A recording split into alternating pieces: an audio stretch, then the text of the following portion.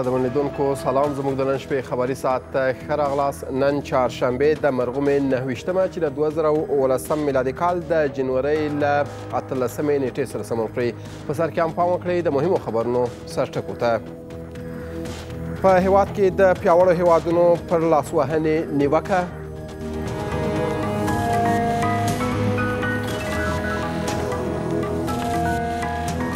د ولسی جرګې د شپاړسم پړاو د شپږم کال پای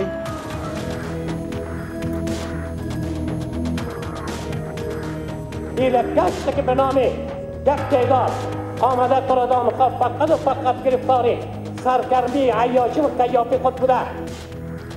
د زده کوونکو د جامو د رنګ د څرګندېدو په اړه د پوهنې وزارت یو کال انتظار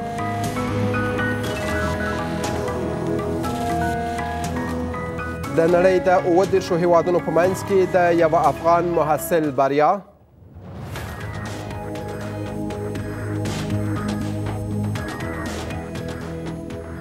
او په فلسطین کې د ملي یووالي حکومت پر جوړېدو هوکړه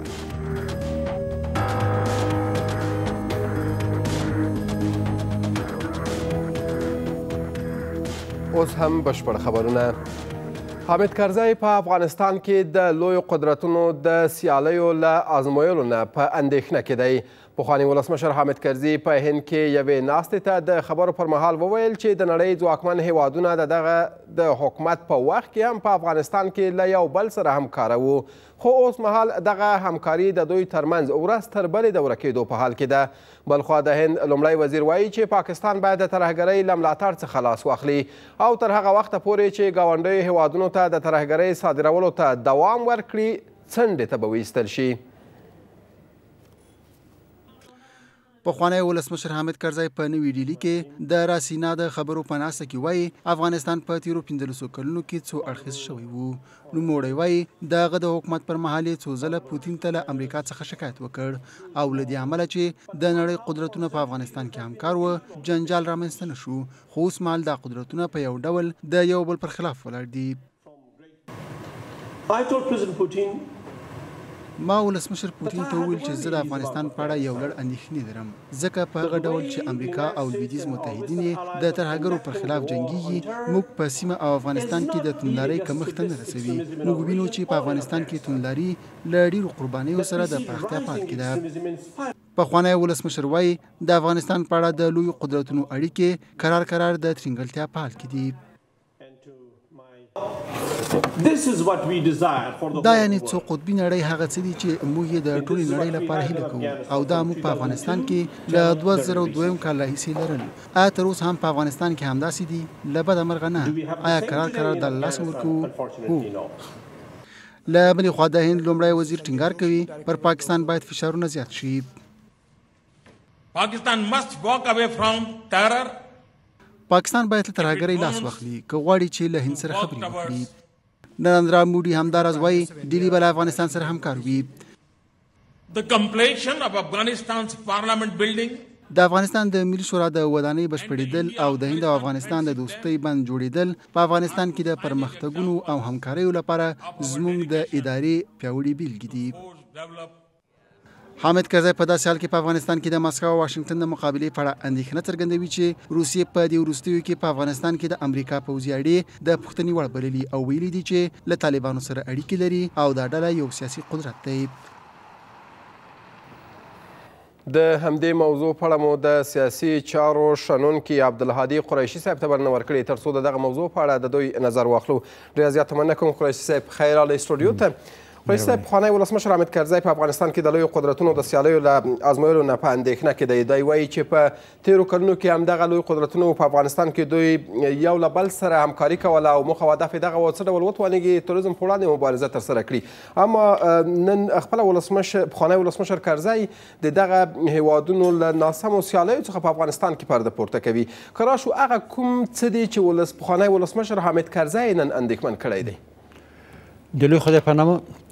خو تر ټولو لومړی غواړم چې د جدي د یوشتمې د سې شنبې ورځې د خونړۍ پیښې چې سې شنبې خونین باندې یادېږي د دې پیښې لامل خپل تاثیر او تعلم څرګند کړم او هغه چې شهیدان شوي دي څه د کور دننه او څه بهرني ډيپلوماتان هغوی ته له پاک خدای ځنې لوړ جنت وغواړم او سربېره پر دې هم هغوی چې ټپيان دي هغوی ته له پاک خدای ځنې روغتيا وغواړم او کورنيو ته تسلط عرض کړم کوم چې د بهرنيو د تور لاس ښکار شول او د پنځمې ستنې د فعاليت او هغه څه چې ښاغلي حامد کرزي هم د خبرو باندې ټينګار کړی دی د هغه د خبرو ځنې يوه معنا د سياسي تحليل د نقطې نظره ځنې همدا دی چې په دې کې بهرنی تور لاس یعنې د پنځمې ستنې تور لاس چې بالخصوص د ایس آی تور لاس په کې دې کې نغښتی دی دا دې باندې د هغه ټینګار دی بله په هر صورت باندې زما خپل ان په دې باندې دی چې کچيري بهراني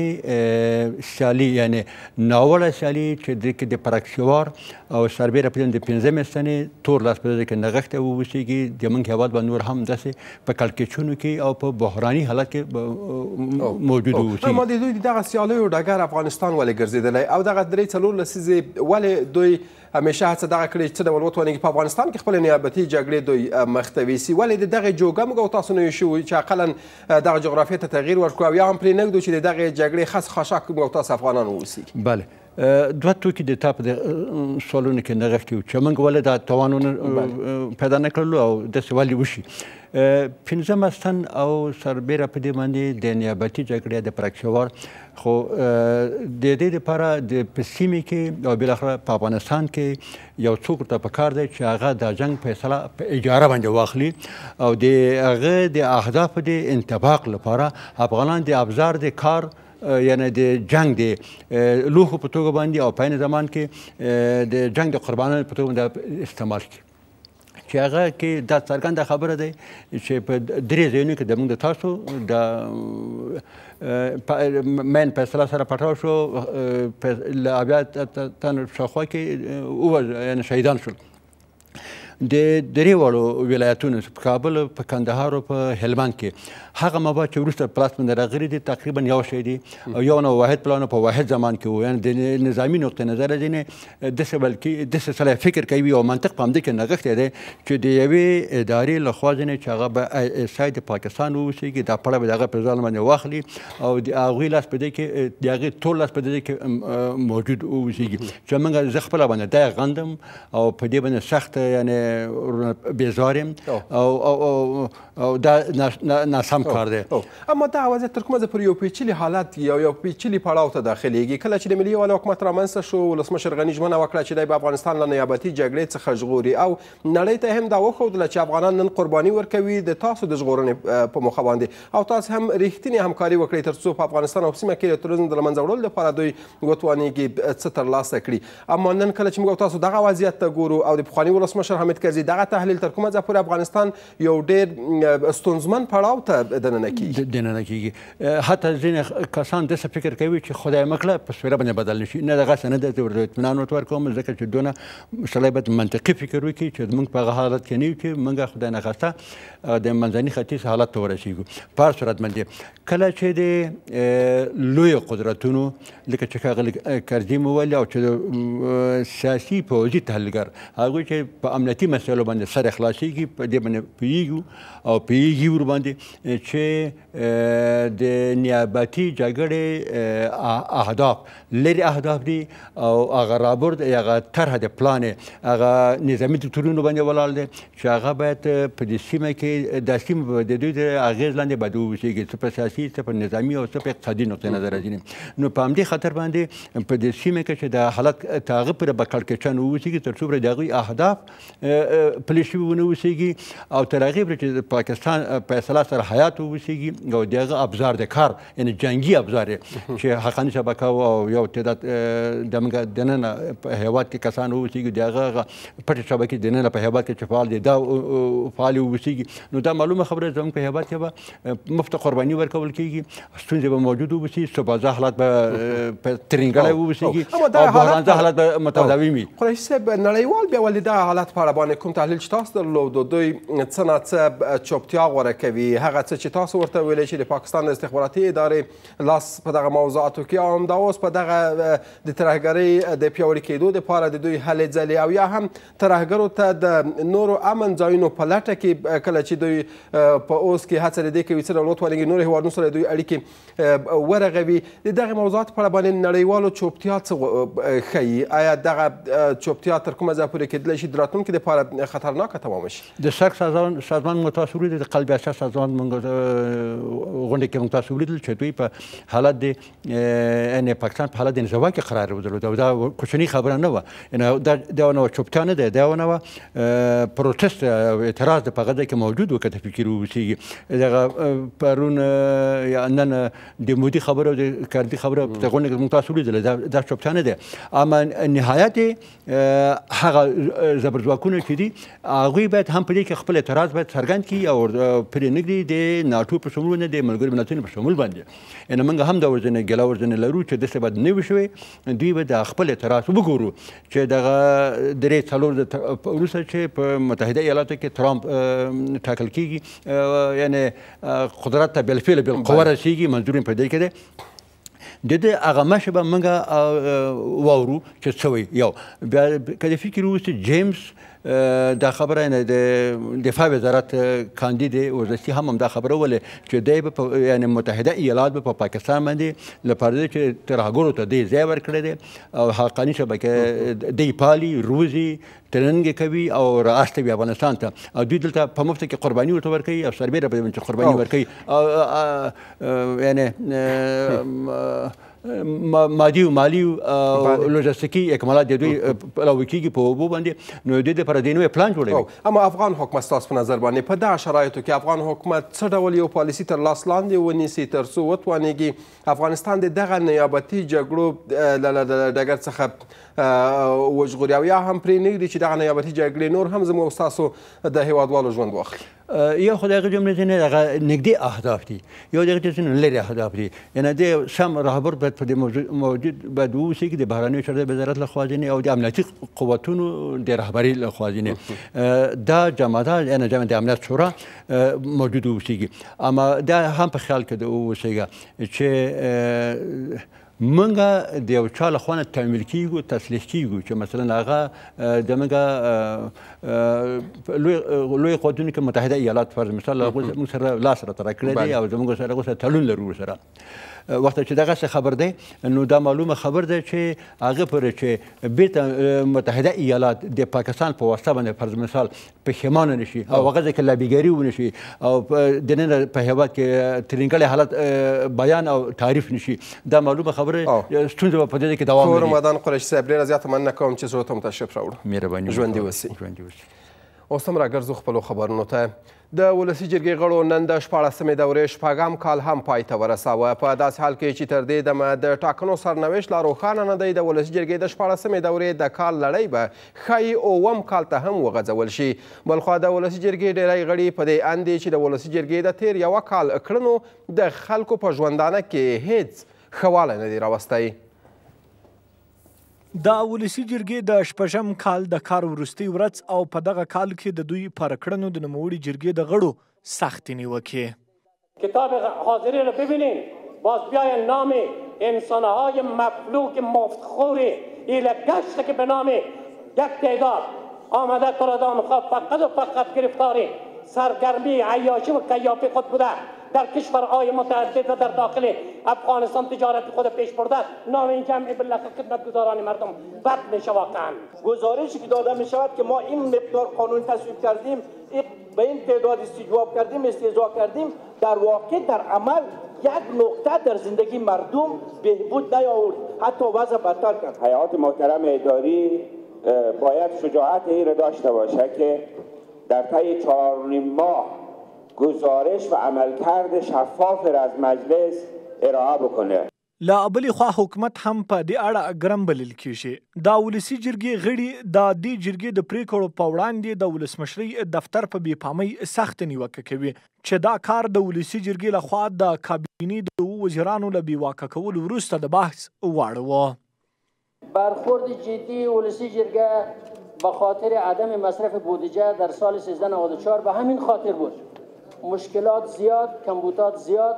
بودجه در اختیار وزارت ها قرار داده میشه اما امور مصرف نمیتونه په رښتیا هم په تېر یوه کال کې د ولسي جرګې کارونه له څه ډول هسکو ټیټو سره مخامخ وو؟ د افغانستان ولسي جرګه په ډېر خواشونۍ سره چې هغه خپل کاري وخت یې پای ته رسېدلی او د ولسمشر پر فرمان په اساس باندې خپل کارونه سرته رسوي اما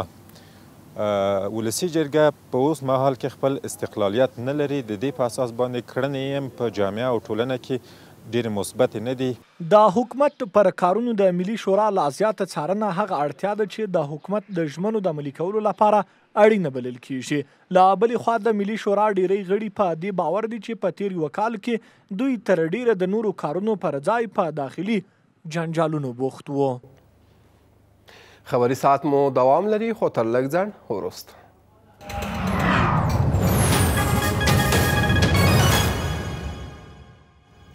بیا هم ښه راغلاست. نږدې یو کال کېږي چې د پوهنې وزارت په دولتي ښوونځیو کې د ښځینه زده کوونکو د لباس د رنګ د تغیر لپاره د ولسمشر مشورې ته انتظار باسي.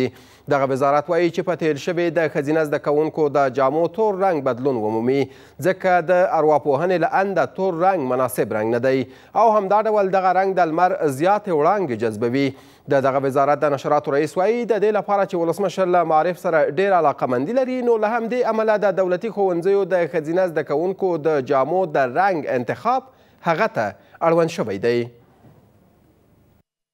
د افغانستان په دولتي ښوونځیو کې زده کوونکي په تورو جامو او سپینو ټکریو کې ښوونځیو ته ځي خو اوس د پوهنې وزارت د زده کوونکو د کورنیو د غوښتنې له مخې د جامو د رنګ د بدلولو هڅه کوي.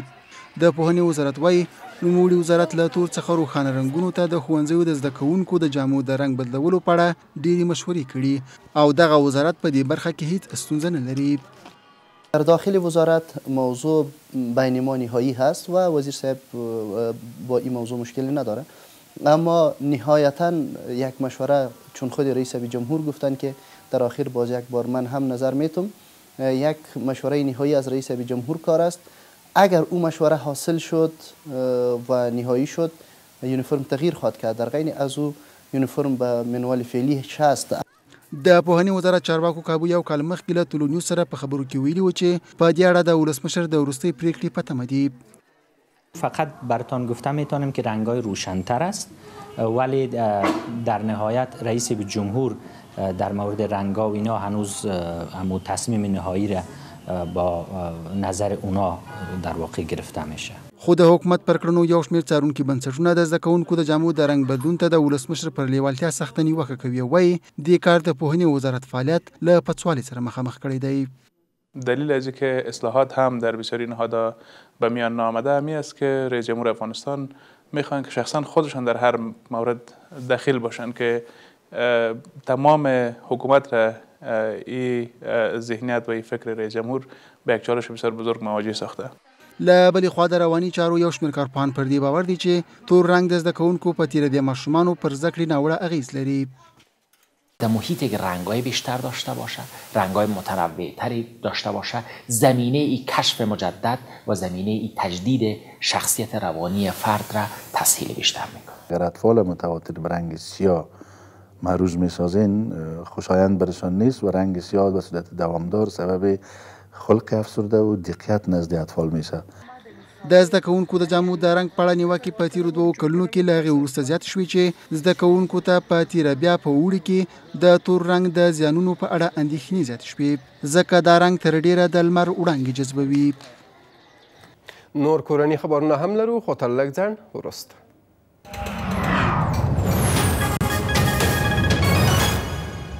بیا هم ښه راغلاست کوم سندونه چې تولونس ته رسېدلي پکې لیدل کېږي چې د پکتیا ولایت د زرمت ولسوالۍ برحاله ولسوال کفتان اخلاص درې میاشتې وړاندې د دې ولایت د استناف محکمې له لوري د دندې څخه د ناوړه ګټه اخیستو په قضیه کې دوه کاله او شپږ میاشتې په بند محکوم شوی خو تر اوسه پورې خپلې دندې ته ادامه ورکړې په همدې حال کې د پکتیا استناف څارنوالۍ رئیس وایي چې د زرمت ولسوال د محکمې پریکړه یې امنیتي ادارو ته لیږلې خو د پکتیا امنیتي مسؤلین د نوموړي په نیولو کې پاتې راغلي بلخوا د پکتیا والي وایي چې د دې موضوع په اړوند معلومات نه لري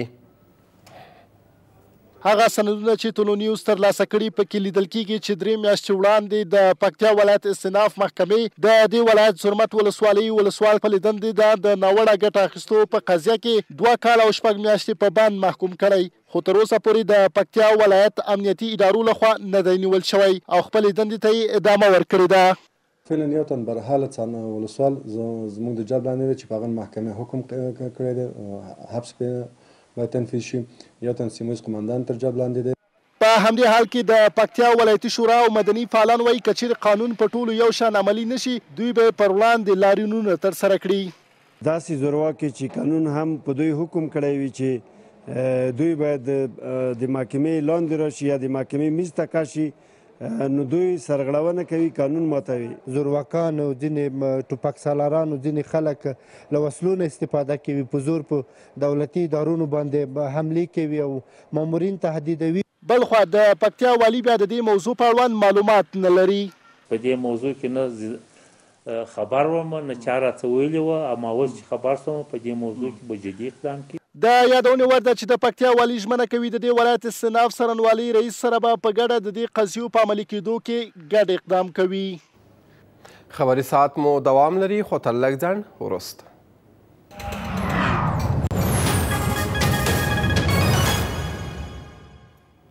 قدرمنلیدونکو په لمر کې زموږ خبرونه همدومره ول او پاتې خبرونو ته دوام ورکوو د طلوع نیوز په نړیواله خبري شبکه کې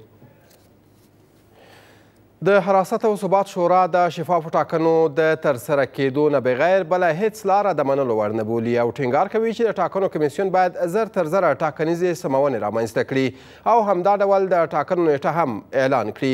د حراست او ثبات شورا په هېواد کې د ناامنیو د زیاتوالي نه په اندېښنې ښودلو سره وایي چې د حکومت امنیتي سیاست له لوی بحران سره مخ دی. د پخواني جهادي مشر عبدالرب رسول سیاف په مشرۍ د حراست او ثبات شورا په هیواد کې د ناامنیو د زیاتوالي او په کابل، هلمند او کندهار کې د وروستیو مرګونو بریدونو په غبرګون کې د حکومت پر امنیتي سیاست سخته نیوکه وکړه. ما از نبود یک راهبرد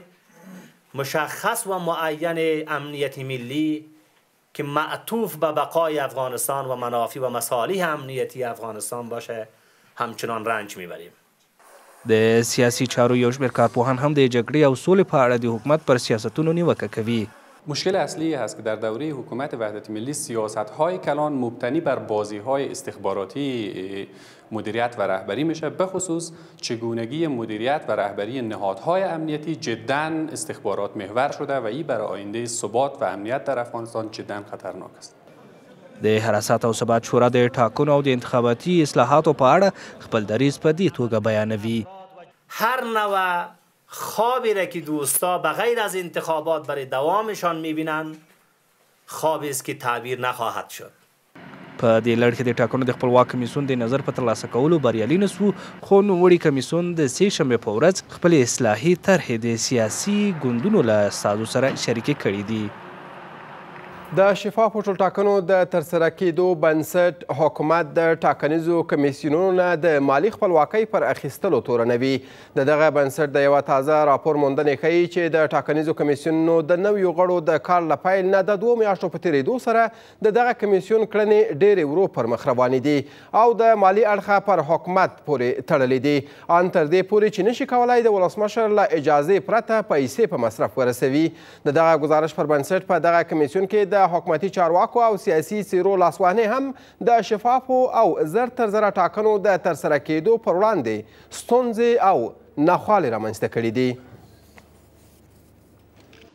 له هغې وروسته چې د ټاکنیزو کمیسیونو نویو غړو کابو دوې میاشتې مخکې په رسمي توګه خپل کار پیل کړ، د افغانستان د رڼو ټاکنو بنسټ د دوی پر کارونو څارنه پیل کړه.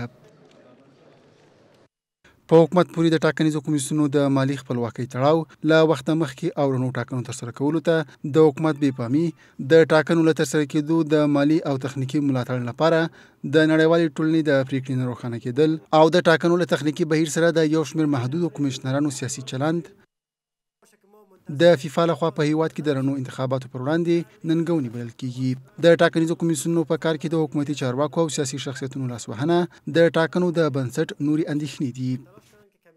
انتخابات یک سناریوی سیاسی برای سیاسیون متاسفانه بر نهادهای دستاندرکار شده در حالی که بعد تکنیکی انتخابات بیشتر خواهان کار عملی هستند. د تیفا د رپوټ له مخې د ټاکنیزو کمیسیونونو پخوانیو کمیشنرانو د دغو کمیسیونونو ټول امکانات او امتیازات له ځانه سره وړي خو د ټاکنیزو کمیسیونونو پخوانیو غړو تر اوسه په دې اړه څه نه دي ویلي.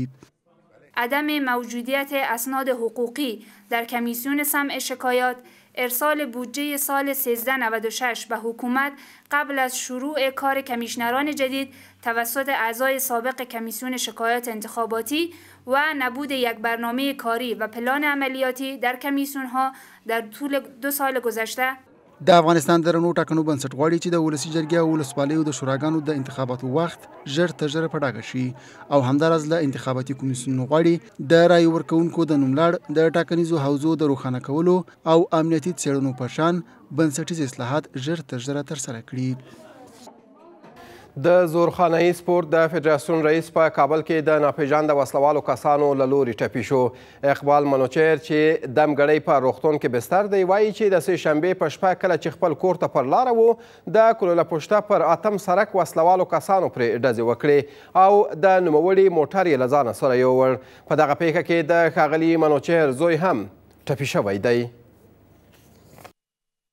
دا هغه سیمه ده چې د سې شنبې په شپه د اوو بجو په شاوخوا کې ناپېژاندو وسله والو د هېواد د زورخاني ورزش د رئیس اقبال منوچهر پر موټر برید وکړ. له هغه وروسته چې نوموړی یې ټپي کړ، موټر یې وتښتاوه.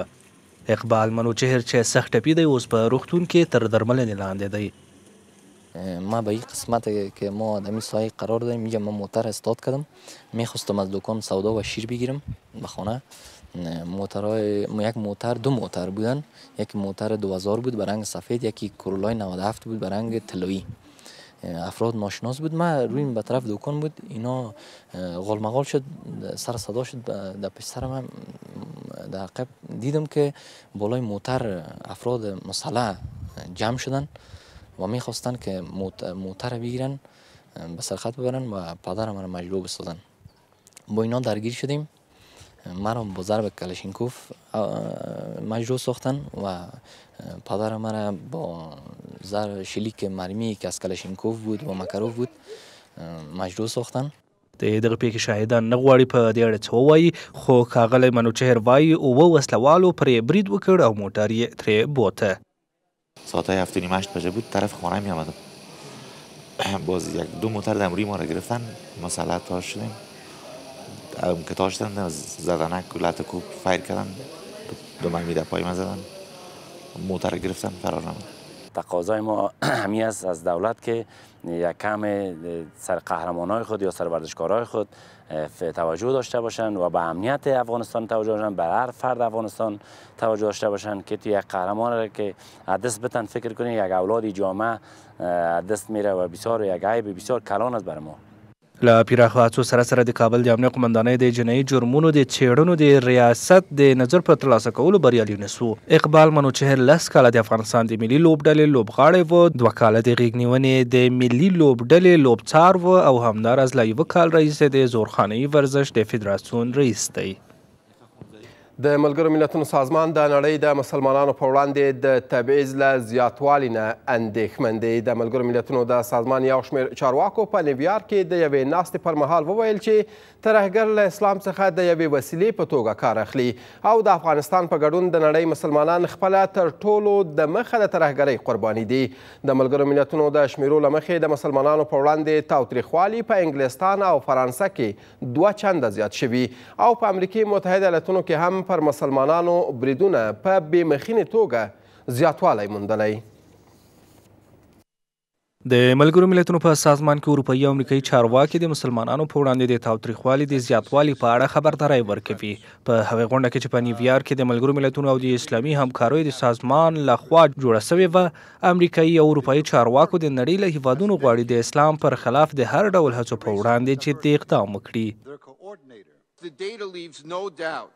د ترلاسه سویو معلوماتو له مخې هیڅ شک نسته چې په ټوله نړۍ کې د مسلمانانو پر خلاف توپیر او له کرکې ډکې پیښې د زیاتیدو په حال کې دي او دا د اندېښنې وړ ده چې بیړنۍ پاملرنې ته اړتیا لري. موږ د ملګرو ملتونو په سازمان کې دغې د اندېښنې وړ ښکارندې ته د نړیوالو د پام په راګرځولو او همداراز د اسلام پر خلاف د دښمن په وړاندې مبارزه کې مهم رول لرو.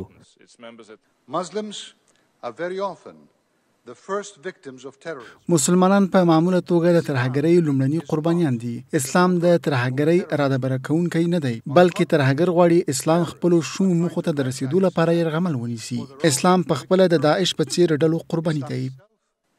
دغه چارواکي وايي، ترهګر د اسلام له نامه څخه په ناسمه استفادې سره د اسلام ضد حساسیتونه راپاروي او دا په داسې حال کې ده چې د افغانستان په ګډون اسلامي هېوادونه د ترهګرۍ اصلي قربانیان دي. په هند کې افغان محصل محمد حلیم د اووه دېرشو هېوادونو د محصلینو په منځ کې لومړی مقام ترلاسه کړ. دغه ځوان وايي چې د اسپانیا هېواد د پولیتکنیک پوهنتون د یوې څېړنیزې موضوع په اړه چې مصنوعي هوش نومېږي نوموړي ته تحصیلي بورس ورکړی ترڅو خپله دوکتورا په دغه پوهنتون کې پیل کړي. We have Mr. Mohammad Halim Didar. د هېواد دغه څلېرویشت کلن ځوان د هند په یوه پوهنتون کې د اووه دېرشو هېوادونو د محصلینو په منځ کې د ماسترۍ په کچه تر ټولو ممتاز محصل وپېژندل سو او د سرو زرو دوهم مډال یې ترلاسه کړ. نوموړي د لیسانس په کچه هم د هند له یوه پوهنتون څخه د سرو زرو مډال اخیستی وو. چون که در کدر بودم و درس مستری خود شروع کرده بودم اجازه دادن که امو دوره لسانس به درس بدم که به مدت یک سال درس دادم و در این حال دوره مستری خود هم می خواندم اموجا ښاغلی حلیم چې د کمپیوټر ساینس په برخه کې زده کړې کړي، د ماسترۍ په دوره کې یې د هند په یوه پوهنتون کې تدریس هم کاوه. ټاکل شوې، نوموړی څو ورځې وروسته د دوکتورا د اخیستو لپاره هسپانیا ته ولاړ شي.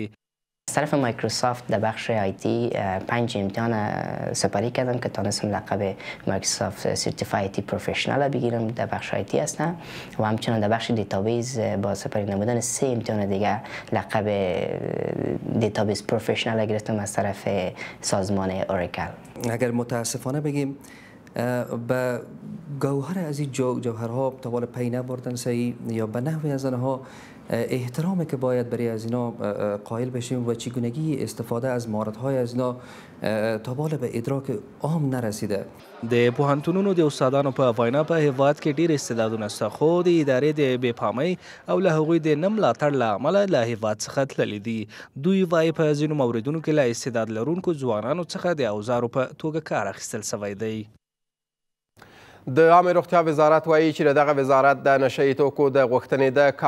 کمولو پخواني رئیس فواد عثماني خپل بانکي حساب ته سلګونه زره ډالر انتقال کړي دي. د دغه وزارت د معلوماتو پر اساس په تیرو اتو کلونو کې د دغه برخې ټول قراردادونه له هغو شرکتونو سره شوي چي اصلي مالک يې ښاغلی عثماني دی، د خيالي کسانو په دندو ګمارل او له واکونو څخه ناوړه استفاده هغه نور تورونه دي چي عامې روغتيا وزارت يې په خپل دغه پخواني کارکوونکي باندي لګوي.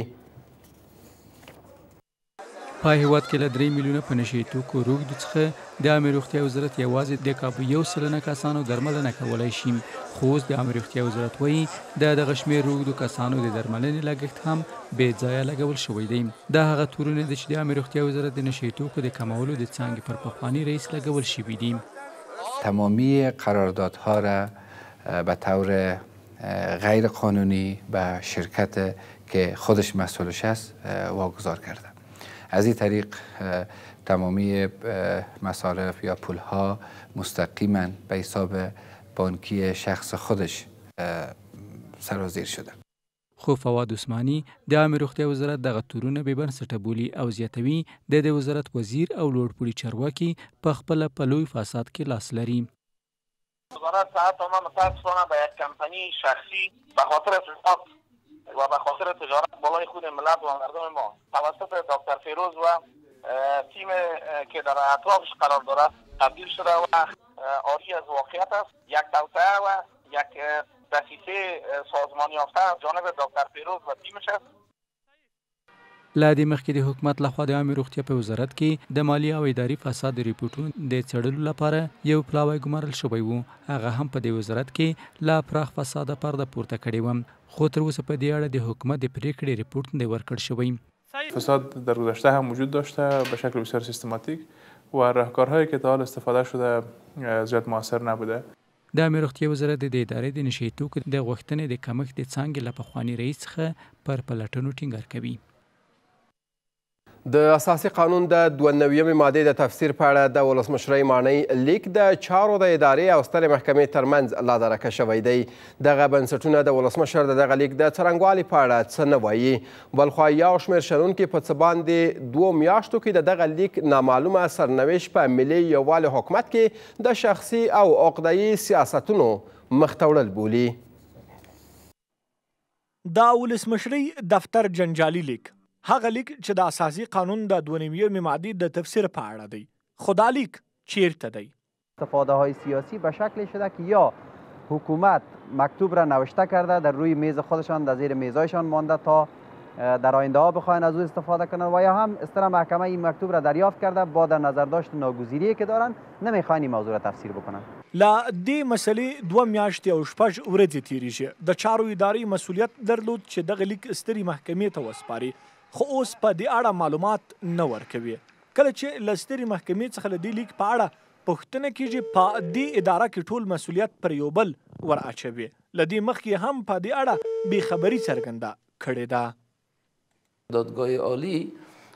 اطاعت از امو تصمیم سیاسی رئیس جمهور میکنه که نمیخواه وزیرایی را که سلب صلاحیت شدن کنار برن. له دې سره سره د اساسي قانون د دوه نویمې مادې په اړه د ولسمشر د لیک ناڅرګند برخلیک ډېرې پوښتنې او اندېښنې راپارولې دي. در افغانستان سیاست شخصی است و شخصی بازی میشه متاسفانه با قضایای ملی هیچگاه برخورد ملی صورت نمیگیره په دولتي ادارو کې پر ستونزو او ناخوالو سختې نیوکې کېږي. د وزیرانو د استیضاع په هماغه لومړۍ ورځ ولسمشر غني د ولسي جرګې د دې کار په وړاندې توند غبرګون وښود، خو څرنګه کېدای شي چې په دې دوو میاشتو او شپږو ورځو کې د خپل لیک د ناڅرګند برخلیک په اړه چوپ پاتې شي. درنویدونکو زمون کورنی خبرونه هم دومره ول تر لږ ځنډ وروسته به بهرني خبرونه وړاندې شي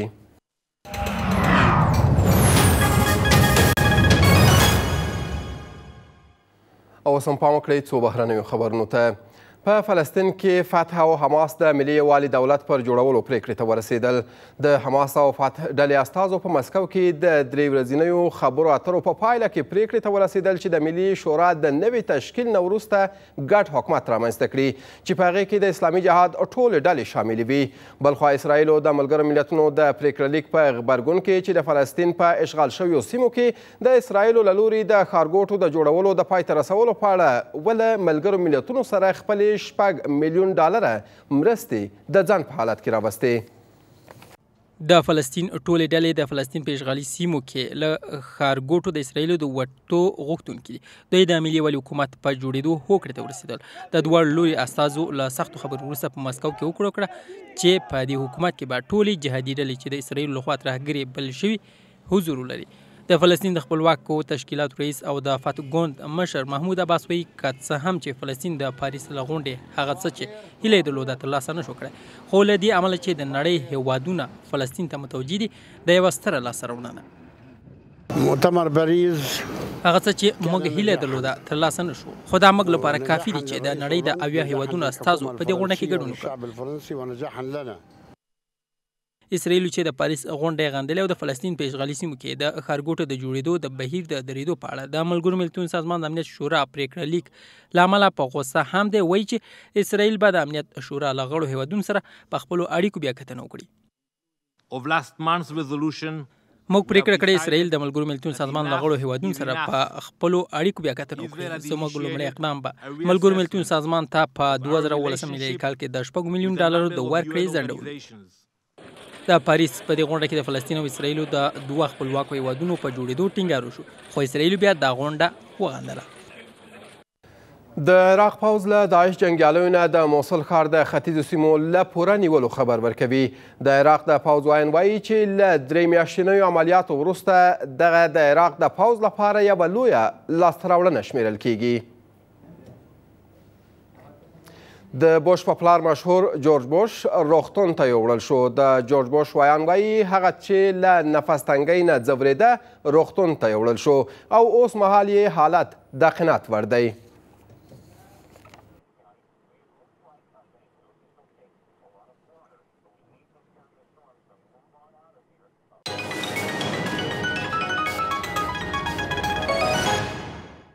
او اوس هم پام وکړئ څو اقتصادي خبرونو ته. یو شمېر کسانو د کابل سیند په غاړه د تنګیغارو په سیمه کې په خپل سر د تیلو پمپ استشنونه او ریګریشنونه جوړ کړي دي دغه کسان وایي چې په نوموړې سیمه کې سیمه ییزو زورواکانو دغه ځمکې د دوی په واک کې ورکړي او د دغه ځمکې په بدل کې له دوی نه پیسې اخلي بلخوا د دې سبز ولسوال هم مني چې هر کال د کابل په دې سبز ولسوالۍ کې په میلیونونو افغانۍ د دولتي ځمکو او غصب شوو ځمکو له درکه د زورواکانو جېبونو ته ورځي.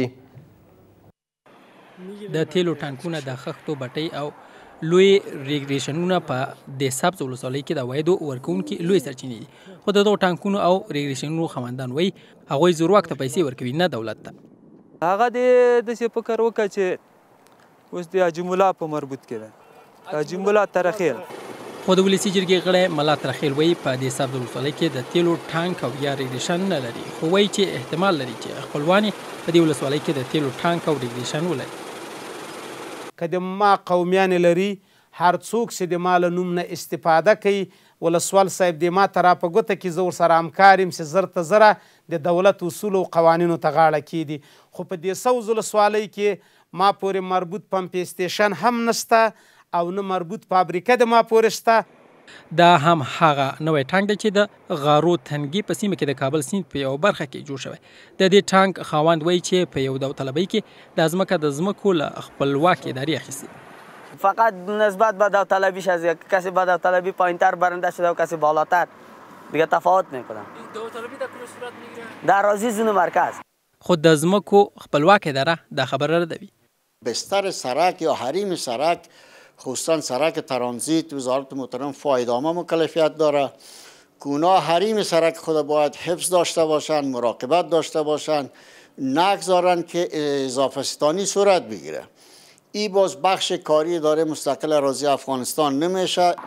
د دې سبز ولسوال مني چې په دې ولسوالۍ کې حکومت د خپلو د عوایدو په راټولولو او دغه راز د ځمکو د غصب په مخنیوي کې ناتوانه دی. ما به اینمی فهم که ای از توان پولیس پوره نیست که یا رفالتشان بند بکنه یا پولیس در هماهنگی با می مافیا زمینه را مساعد می سازه که یا کار بکنن خو به هر صورت در سنگی در ساحه تنگی غارو اشخاص اشخاص غیر مسئول از زگریشانا پول میگیرند و اشخاص غیر مسئول از موسنگا و از ریگ و دریا استفاده میکنند که بزرگای دولتی هم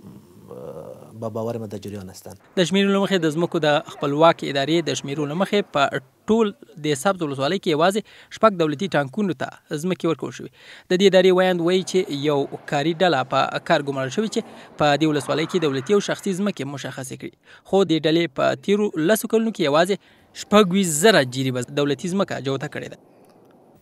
په بدخشان ولایت کې د پنځه سوه ټنه په ظرفیت د ګازو یو زیرمتون جوړ شو. په دغه ولایت کې د نفتي توکو د تصدۍ مسؤلان د اوبلنو ګازو د دغه زیرمتون د جوړولو ارزښت یو سلو شپږ څلوېښت میلیون افغانۍ بولي. دوی وایي چې د دغه زیرمتون په جوړولو سره به په تخار او بدخشان ولایتونو کې په ژمي کې د اوبلنو ګازو د بیې د لوړېدو او کموالي ستونزې اوارې کړي.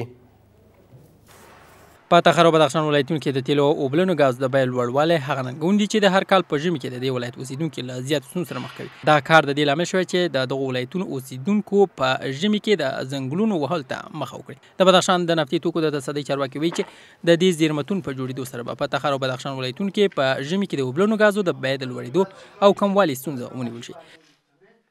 با ایجاد چنین ذخایر ما میتوانیم که ولایت بدخشان و سایر ولایت همجوار مثل تخار و ولایتها را ما اکمال بکنیم. اخوا د بدخشان د ولایتي شورا غړي د دولت د دغه کار په ستاینې سره له دولته غواړي چې د دې ولایت په بازارونو کې د اوبلنو ګازو د لوړېدو مخه ونیسي.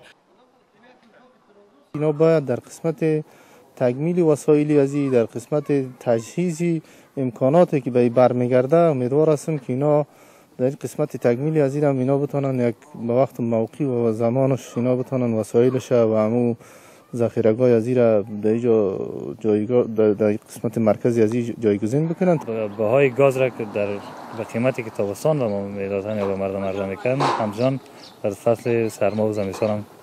فرمون منوال پیش ببرند اوسمهال د بدخشان ولایت د ډېری ولسوالیو د لارو تړل کېدو ته په پام سره د دې ولایت په ډېری برخو کې د یو کیلو بلونو ګازو بیه سل افغانۍ ده. د اقتصادي برخې کارپوهان په دې باور دي چې یو شمېر سوداګر د بازار د اقتصاد له نظام څخه په ناوړه ګټې اخیستې هڅه کوي د ګازو بیه په خپله خوښه وټاکي.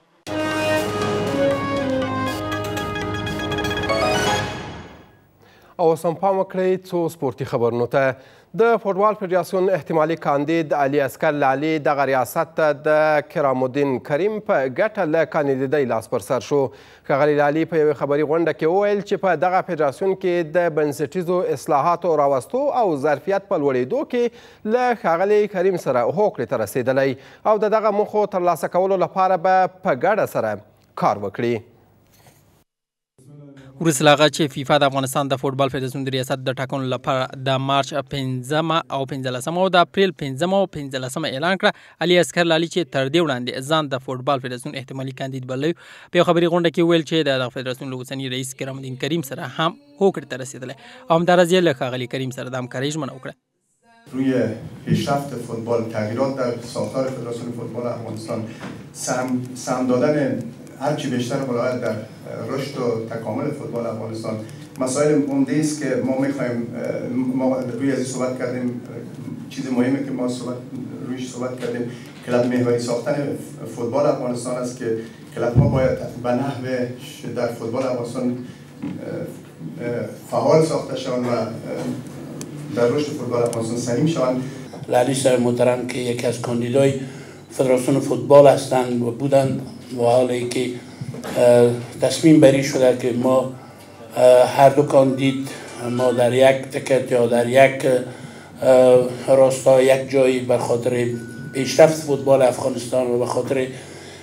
به خاطر از این که ما تغییر بیاریم در ساختار تشکیلاتی فدراسیون فوتبال افغانستان در برنامه های فدراسیون فوتبال افغانستان با هم کار میکنیم د فوټبال فدراسیون وایي چې تر اوسه هیڅ چا د فوټبال فدراسیون لپاره د کاندیدې فورمه نه ده ترلاسه کړې خو ټاکل شوې په نږدې راتلونکي کې د فوټبال فدراسیون د ریاست لپاره د ټاکنو مبارزې پیل شي د هېواد کرکټ ملي لوبډله به د صحرا جام سیالیو په لړ کې د نمبیا پر وړاندې لوبه وکړي تر دې وړاندې د هېواد کرکټ لوبډلې د ایرلند او متحده عربي اماراتو لوبډلو ته ماتې ورکړې به د هېواد د کرکټ لوبغاړو درېیمې لوبې ته د پوره چمتووالي خبره کړې ده